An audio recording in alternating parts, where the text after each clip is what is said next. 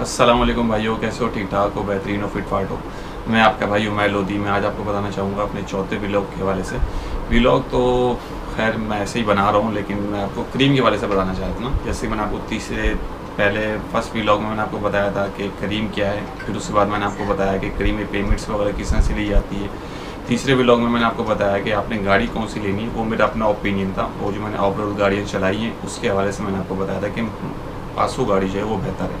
अब मैं आपको बताना चाहूँगा चौथे ब्लॉग के हवाले से, और ये ब्लॉग है अपना टाइमिंग के हवाले से। टाइमिंग करीम के अंदर बहुत ज़्यादा इंपॉर्टेंट है। टाइमिंग का क्या है? टाइमिंग के बारे में आपको ये बताना चाहूँगा कि पहले के जैसे कि अल्लाह पाक भी यही फरमाते हैं कि हमारे, कि मैंने आपकी उम्मत का जो रिस्क है, वो सुबह के टाइम में रखा है। फजर की नमाज़ में।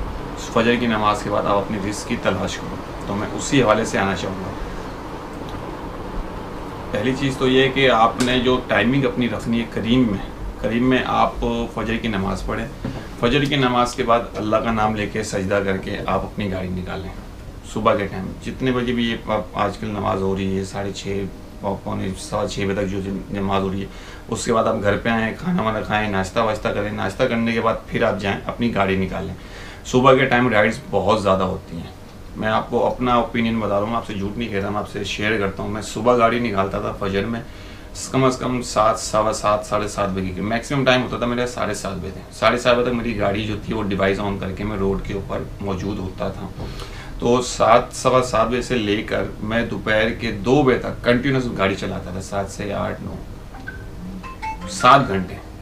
टोटल वो बनते हैं ये सात घंटे। और मैं आपसे झूठ नहीं कह रहा, सात घंटे में मैं बारह राइडें करके अपने घर पे वापसी आ जाया करता था। ऐसा नहीं होता था कि डेली अपना सात घंटे में मेरी बारह राइड हो जाती थी।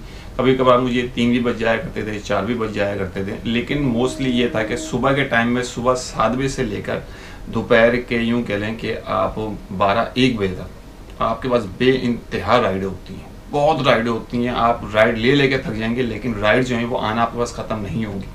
ठीक है, मैं आपको लिटरली बता रहा हूँ, सुबह का टाइम आप अपना रखें।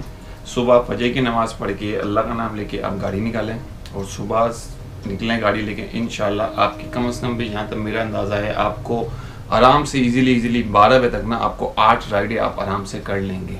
अच्छा अब उसके बाद हर बंदे की कैपेसिटी होती है कि हर बंदा भाई कंटिन्यूस आठ घंटे, नौ घंटे, चार घंटे नहीं चला सकता गाड़ी। तो आप एक काम करें, सुबह सात बजे से लेकर दस बजे तक का रख लें। दस बजे चलाएँ, ग्यारह बजे तक चलाएँ, फिर उसके बाद डिवाइस ऑन करके डेस्टिनेशन घर के लगा के आप घर पे वापसी आ जाएँ। फिर उसके बाद आपने क्या करना है, आप उसके बाद आपने गाड़ी बारह बजे या एक बजे नहीं निकालनी। मैं आपको सही बता रहा हूँ, आप बारह या एक बजे गाड़ी फिर नहीं निकालें। आप फिर गाड़ी कब निकालें? फिर आप गाड़ी निकालें कम अज़ कम कम अज़ कम टाइम बता रहा हूँ, चार बजे के बाद। चार बजे से पहले आप गाड़ी मत निकालिएगा। अगर आप सुबह में गाड़ी लेके जाते हैं और 11-12 बजे गाड़ी लेके घर पे वापसी आ जाती तो फिर आप दोबारा दो बजे नहीं निकालिएगा गाड़ी। आप फिर गाड़ी निकालिएगा चार बजे के बाद।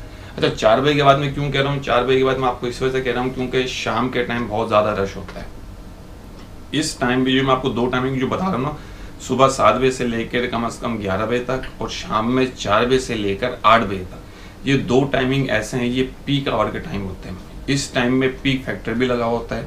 आपकी इनकम भी ज़्यादा होगी, आपको राइट टू राइट मतलब एक राइड के बाद दूसरी राइड एक राइड के बाद दूसरी राइड आपको मिलती रहेगी। कंटिन्यूस आपको राइड राइड मिलती रहेगी। ऐसा नहीं है कि आपने एक राइड ली, फिर आप बैठ गए। नहीं, ऐसा नहीं होगा। आप राइड को ड्रॉप कर रहे होंगे और आपके पास दूसरी राइड ऑलरेडी आ चुकी होगी। मैं आपको सीरियसली बता रहा झूठ नहीं कह रहा। मैं क्या करता था? मैं ये करता था कि ज़ाहिर सी बात है, मैं भी आखिरी इंसान थक जाया करता था। तो कभी मैं फजर में चलाता था, फिर उसके बाद आहिस्ता आहिस्ता आहिस्ता आहिस्ता मेरी भी टाइमिंग आउट हो जाया करती फिर ऐसा होता था, मैं दोपहर में बारह बजे, एक बजे गाड़ी निकला करता तो फिर ज़ाहिर सी बात है, वो राइडें कम होती थी, मेरा टारगेट रह जाया करता था। मेरी राइड्स का टारगेट होता था एट्टी फाइव मुझे कम अज़ कम एट्टी फाइव राइडें करनी होती थी हफ़्ते के अंदर। तो जैसे कि मंडे टू फ्राइडे तक मेरी राइडें हुई हैं कम अज़ कम पैंतालीस, पचास।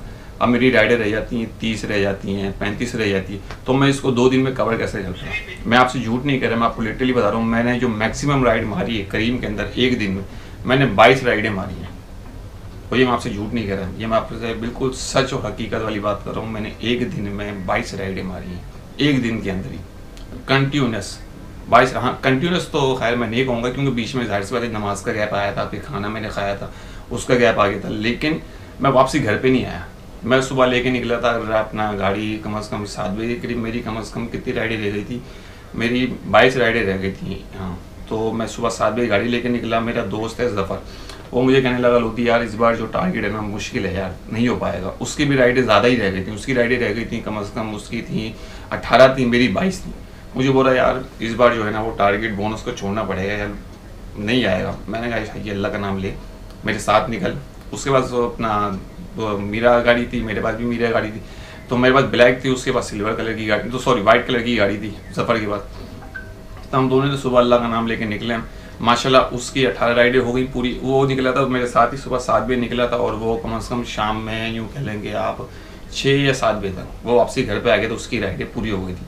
मुझे थोड़ा सा टाइम लगा था। मैं सुबह सात बजे निकला था, और मुझे कम अज़ कम रात के शायद थिंक सो मुझे ग्यारह या बारह बज गए थे। ग्यारह बारह बजे तक मैंने अपनी पूरी बाईस राइडें करने के बाद मैं वापसी घर पे आया था। मुझे अच्छी तरीके से याद है कि मैं एक राइड के लिए गुलशन के अंदर खड़ा था। बिल्कुल मेन जो गुलशन की चुरंगी ना, मैं वहाँ पे खड़ा हुआ था। मेरी आखिरी राइड रह गई थी, बिल्कुल बाईसवीं राइड थी वो मेरी। मैं उसके लिए वहाँ पे खड़ा हुआ था तो खैर अल्लाह पाक ने मेरे साथ आसानी वाला मामला फरमाया। मुझे बाईसवीं राइड दी अच्छा उसके बाद फिर मेरे पास एक और राइड आ गई।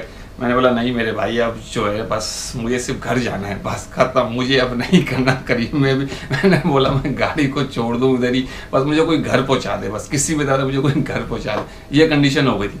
बस अपना एक्सपीरियंस शेयर करने का मकसद ये है आपसे कि अभी जो मार्केट में बातें चल रही है ना भाई, करीब में राइट नहीं है, काम नहीं है, पैसा नहीं है तो इस हवाले से मैं आपसे ये कह रहा हूँ कि ऐसा नहीं है।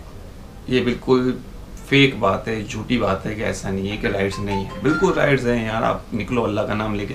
रिस्क तो अल्लाह देता है, वो रिस्क आसमान से उतरता है। बंदे के हाथ में नहीं होता करीब तो एक ज़रिया है। बाकी इंशाल्लाह अल्लाह पाक जितना आपका रिस्क लिखा होगा, वो आपको ज़रूर मिलेगा। बेफिक्र है लेकिन मेरा आपसे सही बता रहा हूँ राइड्स बिल्कुल हैं। आप सुबह सात बजे से लेकर कम अज़ कम दोपहर जैसे आपकी कैपेसिटी नहीं है, आप कंटिन्यूस आठ घंटे, नौ घंटे गाड़ी नहीं और ज़ाहिर सी बात है, हम लोग प्रोफेशनल ड्राइवर तो है नहीं, जो बात सच है। तो हर बंदे की कैपेसिटी होती है कि भाई अगर आप नहीं चला सकते कंटिन्यूस आठ घंटे तो आप एक काम करें, सुबह सात बजे से लेकर ग्यारह या बारह बजे तक का काम करें। फिर उसके बाद आप घर पे आ जाएँ, अपने घर पे आके सो जाएँ फैमिली के साथ बैठ जाएँ, दोस्तों में बैठ जाएँ। सबसे अच्छी बात तो ये आप सो जाएँ। मेरा तो अपना ये है कि आप कम अज़ कम दोपहर में एक, दो घंटे आराम से सो जाएँ। उसके बाद फिर आप शाम में चार बजे के बाद, चार बजे से पहले मत निकालिएगा गाड़ी, वो बिल्कुल आप यूँ कह लें कि आप अपने, अपनी कैपेसिटी भी यूज़ करेंगे, अपनी एनर्जी आप यूज़ कर देंगे। चार बजे के बाद आप निकालिएगा राइट चार बजे के बाद आप गाड़ी निकालिएगा, चार बजे से लेकर रात के आठ, दस, बस मैक्सिमम में दस। मैं ये कह रहा हूँ कि अगर जो टाइमिंग मैं आपको बता रहा हूँ, इस टाइमिंग में अगर आप गाड़ी चलाएँगे तो मैं आपसे लिटरली कह रहा हूँ, आप डेली का डेली का, मैं आपसे बड़ी बात नहीं कर रहा, पच्चीस सौ से तीन हज़ार विदाउट फ्यूल आप बचा लेंगे। मैं दोबारा रिपीट कर देता हूँ, पच्चीस सौ से तीन हज़ार। Twenty five hundred two three thousand आप बचा लेंगे विदाउट फ्यूल फ्यूल को हटा के मैं आपको ये अमाउंट बता रहा हूँ। अगर आप इस टाइमिंग में गाड़ी चलाते हैं और इस तरह से आप गाड़ी चलाते हैं तो। ये मैं आपको बिल्कुल कहूँगा कि टाइमिंग का बहुत ज़्यादा ख्याल रखिएगा। टाइमिंग बहुत ज़्यादा ज़रूरी है करीम के अंदर। क्योंकि करीम का जो मैंने आपको पहले भी ज़िक्र किया कि पीक फैक्टर लगा हुआ होता है। और वो मोस्टली मोस्टली सुबह के टाइम लगा होता है, सुबह सात बजे से लेकर बारह बजे तक, फिर शाम में लगता है चार बजे से लेकर आठ बजे तक। तो आप इसी दौरान में अपनी गाड़ी निकालें और गाड़ी चलाएँ। इन आप अच्छे पैसे कमाएँगे। बस इसी तरह से मैं आपका ये जो मेरा चौथा व्लॉग था फोर्थ व्लॉग था, ये मैं एंड करना चाहूँगा। और साथ साथ आपको ये भी शेयर करना चाहूँगा, अगर आपको ब्लॉग नहीं, आपको समझ में आ रहा मतलब आपके उसका नहीं है नॉलेज का तो आप इसको कम से कम एटलीस्ट शेयर कर दें। उन भाइयों तक जो करीम में काम करना चाह रहे हैं। आपका फ़ायदा नहीं होगा तो दूसरे का फ़ायदा हो जाएगा इन उसका रिस्क आपके ज़रिए से जुड़ा हुआ होगा, अल्लाह पाक आपसे खुश हो जाएगा। तो बस ये आपसे कहना था, बाकी दुआओं में याद रखिएगा। अल्लाह हाफिज़।